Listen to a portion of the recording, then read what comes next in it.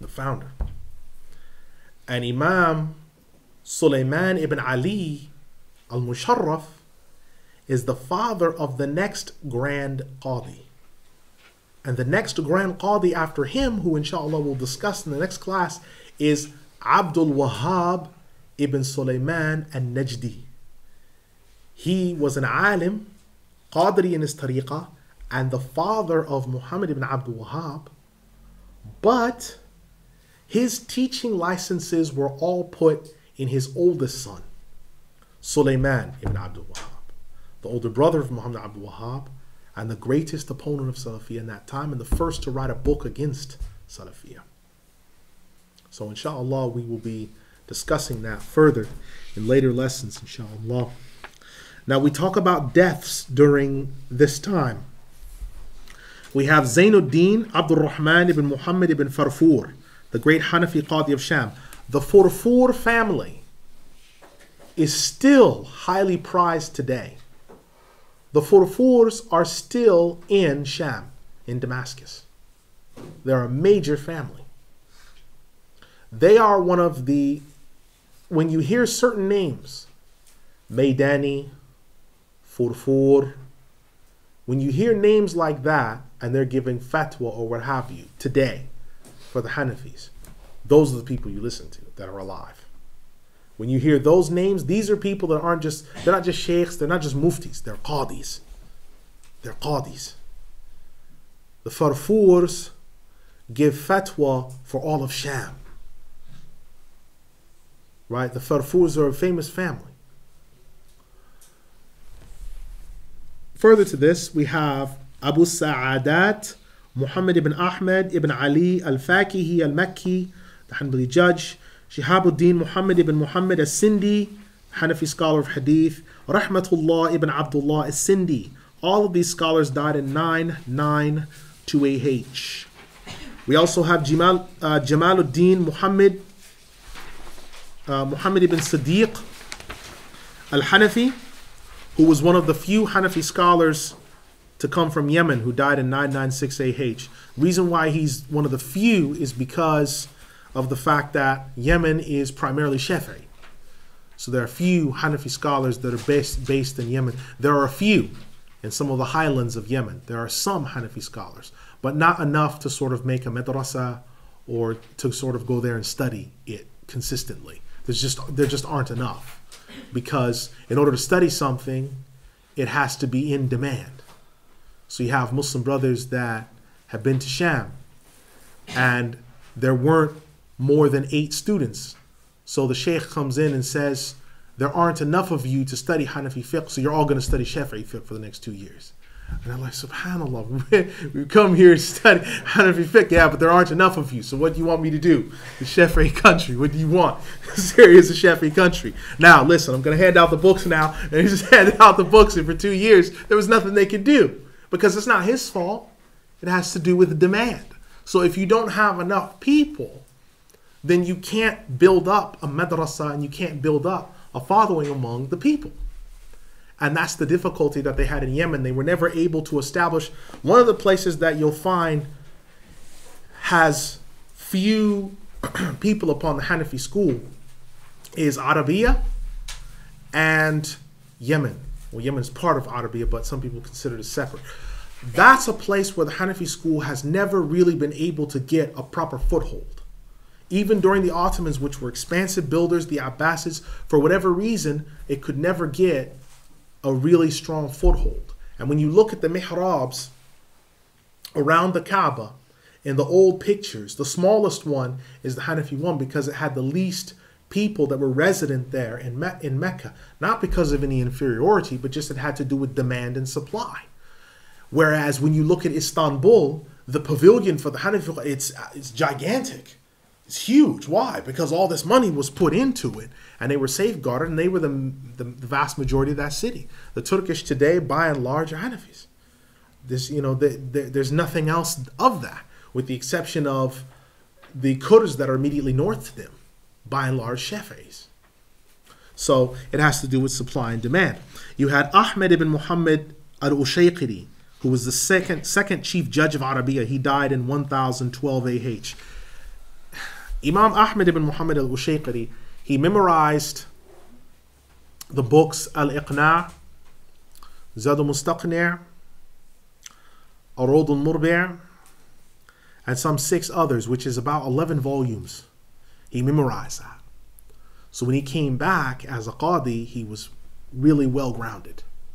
Very, very well grounded. Al Ushayqir. Another one was Imam Badruddin Muhammad al Balbani. He died in 1033 AH. His book, Mukhtasar al Ifadat, is one of the chief books for studying comparative creed. It's one of the skeleton texts for studying, if you want to study comparative creed within Ahlul Sunnah, between Hanbalis, Ash'aris, and Maturidis. That book is one of the skeleton manuals. Mukhtasar al Ifadat is also called um, the Mukhtasar. Uh, it's also called the uh, uh, Mukhtasar um, al-Nihaya uh, by Ibn Hamdan. It's also called the Mukhtasar of that. That is one of the books that you would study because it gives you a greater understanding of these branch differences between Ash'aris, Maturidis, and Hanbalis. Um, he also credits once he was he he had lo- he had gone blind. He lost his vision, and he saw Imam Ahmed rahimahullah in a dream, and he said, "Please, please pray for me." And Imam Ahmed said, "Inshallah, I will. What what do you want me to pray to Allah for about? Pray that Allah restores my vision." And so we did, and when he woke up, he could see. So it's we see the du'a is is important. Du'a is very very important. And the righteous people, if there's someone that's righteous, you ask them to make du'a for you. Inshallah, Allah subhanahu wa ta'ala, if it's, if it's within His eternal will, He answers. Another is Mar'i ibn Yusuf al Karmi. He died in 1044 AH.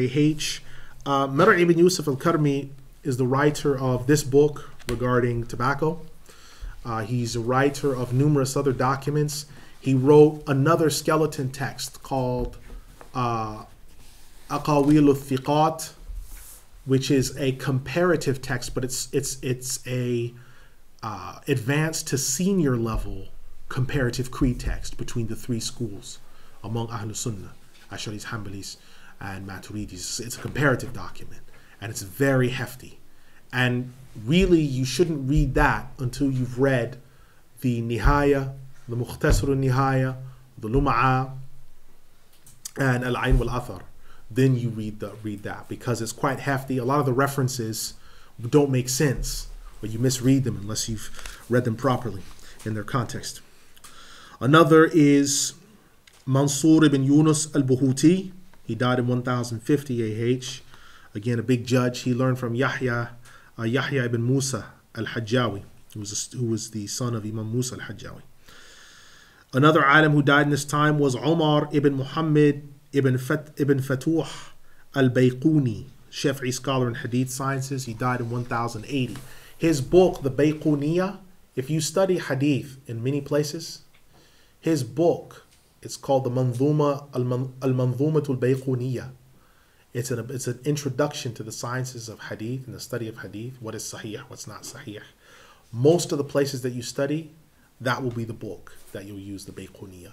In a lot of places in the Muslim world, if people have studied it, like you'll find people studied in Damascus, they studied in Cairo, they study it in, uh, they studied in Indonesia, in Jakarta, they studied in uh, Kuala Lumpur, a lot of places. I don't know if it's most places, but a, a, a fair few places. That is the book, the Bayquniya, in Hadith sciences is used for study. Sulaiman ibn Ali al-Musharraf al-Najdi, we already talked about him, the third judge of Arabiya after Ahmed ibn Atwa. He died in 1079 AH. And then we have Muhammad ibn Abdul Rasul al-Shahrazuri al-Barzanji. He died at 1102 AH, and we'll be coming to further that. Uh, we'll be coming further to that later. Now, it's interesting because in Imam al-Barzanji's book called Ashratu Sa'a, there are numerous ahadith about by the Prophet about Hajj being prevented near the end of time. And Imam al-Barzanji, rahimahullah, he said, this has only happened partially. He said there have been times where people have prevented people from Sham coming when the Karamiya took over or the Qaramita took over. The full prophecy where Hajj was prevented was not realized until the time of Muhammad ibn Abdul Wahhab, in which Hajj was stopped for two years. And we'll be coming to that inshallah next week. So it's very important. He said this one is still pending. We live in the time after it. We've already lived. We lived to see, or we lived past the time of Mecca being shelled, the curtains of the Kaaba being burned. That happened. That's already happened. Muhammad Abdul Wahhab already did that. Medina being shelled and the people being made to eat the dogs of Medina, that happened. Medina was shelled. Muhammad Abdul Wahhab surrounded the gates, made the people eat the dogs, starved them out. Right? Hajj being stopped for two years. That was in a newspaper in this country, the United Kingdom. They couldn't believe it. They said the, the one of the greatest of the Mohammedan festivals has been interrupted by a band of extremists. So this is the reality. And so a lot of what's coming next week, inshallah, has to do with prophetic incidents that are occurring. Before closing immediately, I just wanted to mention some of the literature that I depended on and will depend on for further discussion about the United States. If you want to really understand the extermination programs, what Columbus and those others did when they arrived, and how absolutely bestial they were. This book by Ward Churchill, A Little, a Little Matter of Genocide, very exhaustive. The bibliography, over 500 sources. Over 500 sources. The place where the footprints of the World Trade Center tower stand is where some of the settlers played kickball with the heads of some of the Aboriginal peoples in the U.S. Had a game of kickball with their heads. Right? Very good book.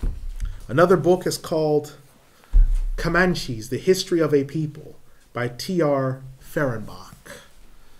He makes the following analysis, which again you have to you have to understand the American psyche. You have to become students of Occidentalism, the study of the West, to understand the mindset of the people that we're dealing with. Listen to this encouraging quote on page 13. Quote, This is the story of the Nermernuh, or people, a few thousand North American Indians, from their prehistoric beginnings to the destruction as an independent people, to their destruction as an independent people. In one sense, the passage of the people was of little importance, a minor footnote to American history. It's the destruction of more than 60,000 people. It's a minor footnote in American history. After all, there's 300 million here now, and we've got McDonald's and Wendy's, and someone had to give it up in order for us to make it here now. Right? Very good book.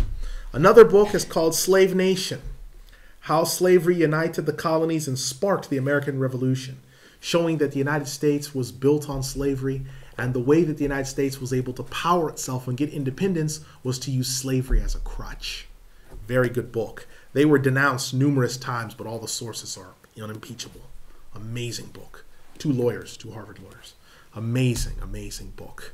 Uh, I think you'll find those three to fortify your knowledge and give you a greater understanding of the American psyche, particularly the American psyche of slaughter, encroachment, and reinforcement and values clarification.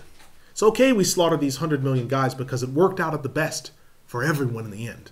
Because what would we have done without McDonald's? Could you imagine life without Baskin Robbins? So it all worked out for the best and for everyone else.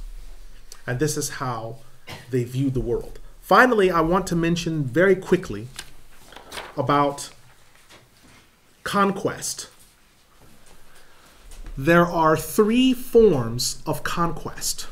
There are three forms of conquest, and we're, because we're going to be talking about this. There is a conquest. There is the first type, which is called conquest and rebuilding.